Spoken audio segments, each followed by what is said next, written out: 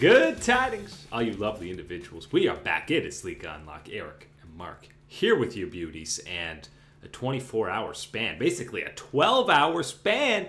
We are blessed with two incredible back to back Game 5 playoff series in the EMEA, aka LEC, and the LPL in the middle of the week. It's not even a weekend, and we're getting Game 5 bangers.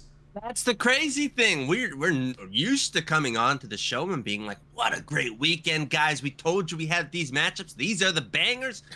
On a Tuesday, we're getting a double dose of silver scrapes. That's pretty darn good. We're starting in Europe in that LEC side of things. Winner's side of that bracket, G2XL for a spot in finals. And I don't know, let me tell you.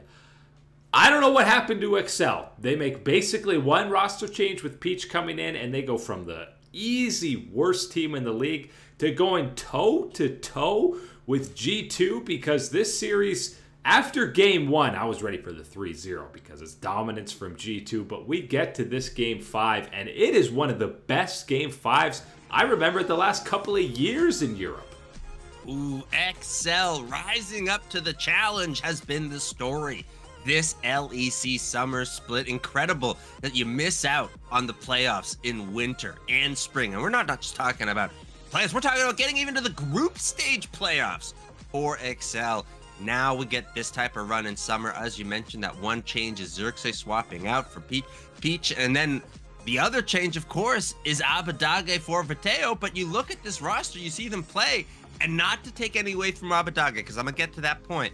But you watch him and you go, wow, wouldn't this be better with a superstar in the LEC, an MVP level player like Vetheo? But you look at what they've done with Abbedagge and what the problems were for this team with Vetheo, and you see him popping off and playing well with Heretics. You have to think that there's something going on in the communication and behind the scenes, whatever, with Abbedagge and Peach on this team that is finally unlocking that potential, that power that we all thought was going to be there for this XL team. You combine that with Patrik playing like this hyped up guy from a couple of years ago. Limit is playing the best that we've seen out of his career. Odoamne was never really an issue, but the rest of his team has now stepped up to his level. All that said, it's still just not quite enough against G2 because now you can put the Kog'Maw alongside the Kalista and the Draven. You gotta ban it against Hans Sama. He plays it two games this series. 23 2 and 9 score line in that game 5 he goes 9 and 1 and we get to see this first Kog'Maw and Milio duo and let me tell you it's pretty disgusting yeah you know what Kog Lulu, that is the picture perfect S plus plus pairing for the Kog'Maw. I think uh, Milio's going to be rising up on that one very quickly with what type of benefits, the type of advantages that he provides. The biggest one for me that I think a lot of people overlook with Milio, the peel. He provides quite a lot of peel, you know, the pushback with his things, the speed up, everything else. He's getting those advantages for you to get out of that situation, stay alive, but also for an ADC like Kog'Maw that mobility, that extra safety of playing a bit more aggressive, a bit on that line. And we know when you can play aggressive as an ADC, that Kalista, that Draven, that is the Han Sama special. And seeing this Kog'Maw fall into that pattern, especially the way that G2 likes to utilize it, where they're drafting it, when they're picking it, this is a new secret for G2 esports. And it feels like they're constantly trying to find these kind of crazy, specifically bot lane picks to build a comp around. You know, we saw last playoff run, you had the J4, Samira, Draven, we've talked about, Kalista, we've talked about. These off meta picks to get their bot lane ahead has been the secret sauce for them. It was a wide spectrum of a series for Caps. I feel like you got Caps, Craps, and Claps all in one series the full buffet from the G2 esports mid laner. Yes, we got to see all of that from Caps and, and, and, in this series, but I think the biggest thing as well, you got to see in this series, even with that fluctuation of what level of performance we were getting from him individually, is that locked in veteran when you're talking about going to silver scrapes five games and especially the way that this series ebbed and flowed between the way the two teams were playing and performing that type of stability, that type of presence is a big factor. And when I look at the rest of this G2 lineup, when I look at how, you know, when they're going off stage and when they're when he's talking with Yike, those are big bonuses that I'm looking at for this G2 team. And also, much like previous playoff runs, feel like BB is turning it on. I've never seen him look so lethal on the croc than he did in this series. And this is one of those ones where I think it's tough because a lot of people maybe aren't going to be viewing Odoamne with that same type of power that is attached to his career just for this year with how things have gone with Excel. The form that he has shown this summer split, the way that he has been depended on for this Excel team, that is of the Odoamne legacy that he has built in the LEC. And for BB to stand tall, stand toe to toe to it almost every single time in this matchup, good sign for this G2 lineup. This is overall one of those ones where you are pushed, you are tested, you are bending, you're not breaking in this series, and you're holding out strong and coming out on top. That is the G2 esports victory. Despite, of course, it's a heartbreaking loss to lose in this fashion in Game 5. So back and forth, so many positive avenues to take for XL. Heretics or Fnatic, if you're XL, you should be sitting pretty and feeling good that you can handle either of those squads if you play at this level again. If you're playing at this type of level, you are guaranteed a competitive series. If you are if you are looking at this from Excel's perspective, looking at both Fnatic Team Heretics, certainly squads that you cannot be taking lightly, that will have ways to challenge and push you, but you have that outside angle looking in us that advantage right now from what we've seen from how you were able to play against G2. I think the next thing is trying to find one of these creative angle picks. When we talk about G2, you're talking about Yike, you're talking about Hans Sama. Heck, you can even talk about BB, you can talk about Caps, you can talk about Mikyx, you can talk about the whole roster. Having something special that they can cook up and pick up that has that edge in a best of situation. I'm looking at that Excel side, and that would be something that you'd want to develop. Zac Mid, coming in the finals for Caps. Get ready for that one as uh, we see it coming out. But we have that followed up with an LPL, yet another five game set. We already had uh, EDG doing that in the previous matchup, and now you get Weibo Gaming versus LNG playing their first playoff series of summer. And it was another, we're going right to game five. It was incredibly back and forth. Pretend you didn't see some of these K'Sante performances from TheShy. He almost has a vintage TheShy Poppy 1v3 scenario to make you forget about the other four games. He had it. It was right there until it wasn't there for TheShy in this one heck of a series that we're going to get to go through with this one, but unfortunately, it is Weibo Gaming suffering the same fate as EDG, making this climb, making that journey through the LPL playoffs, the gauntlet that's running through. And you fall just short of securing yourself that loser's bracket opportunity. Weibo Gaming, it ain't over for them just yet for the year. We'll talk about that.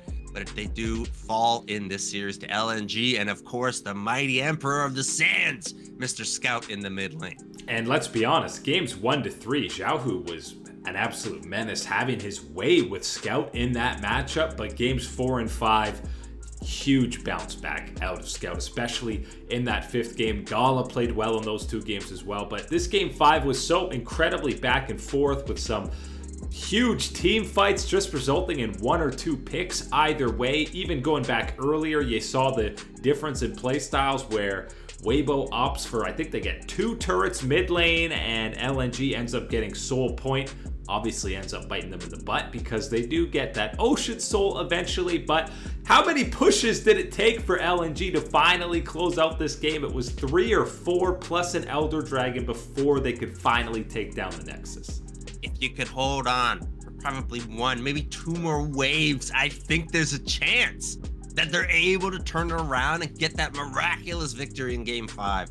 It doesn't come through. It is just overwhelming pressure at that point that yes, LNG find a way to crack the base, crack the code, and crack that nexus to take the series. And that means for the first time, and it feels like forever, the top four seeds in the LPL are actually the top four seeds. We're going one to four BLG, JDG, TES, and LNG. It feels like there's always at least one major upset, but it's the top four making it to this uh, losers bracket. And whew, if if these series are even close to what we've gotten so far, the LPL playoffs are on another level this split. Every time you think that you can't be excited enough about the LPL playoffs and get delivered what we've gotten, which is already fantastic, talking about the runs EDG and Weibo Gaming respectively, made in these playoffs only to get denied by these top four squads. Yes, normally it is one of those ones making this great journey and getting all the way through and disrupting this final four picture.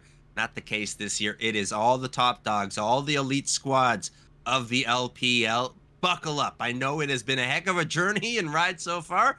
It's only gonna get spicier in the LPL. And as you alluded to, we already know EDG guaranteed a spot in those regional finals. Weibo guaranteed that number six seed, so the final spot in Gauntlet, which means they have to, at minimum, win two best of fives to secure that fourth seed. They can't even get the third seed, but their season is still alive. So we will see Xiaohu and the boys on the Rift at least once more. Right. One more time to decide if is it it is the shy or if it's the fraud. I know.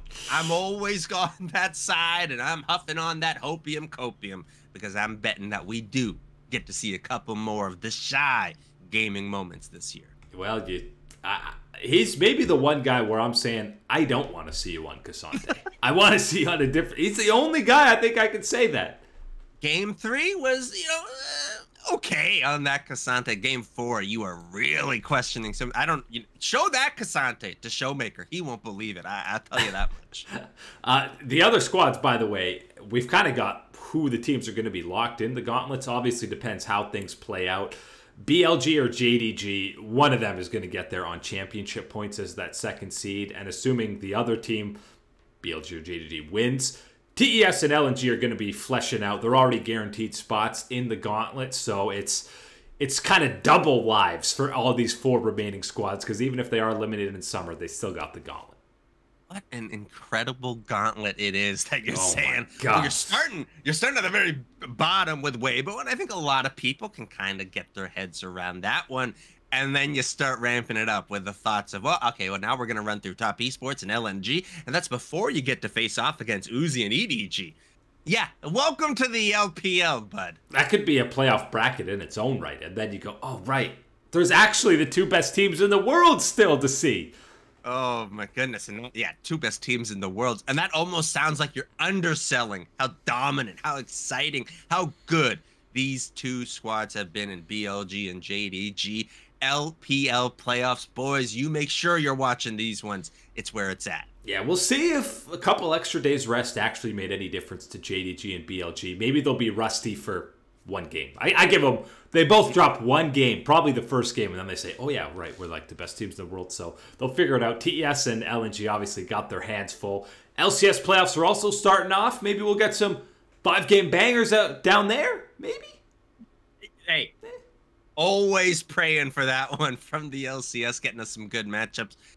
Not quite the expectation I think a lot of people should have heading for at least these beginning matchups for playoffs. I think it will get spicy as we get deeper into it. Once we get to see Dignitas and 100 Thieves on the Rift, that's when the spice really starts coming in. yeah. Oh, that's only a type of matchup that the LCS can deliver to you folks. You keep your Weibo, LNG, BLG matchups. We got Dignitas 100 Thieves matching up against TSM. That's just LCS things, but that is it today for League on Lock. Eric and Mark here with you beautiful people. As always, thanks for watching, and we will catch you on that flippity flip.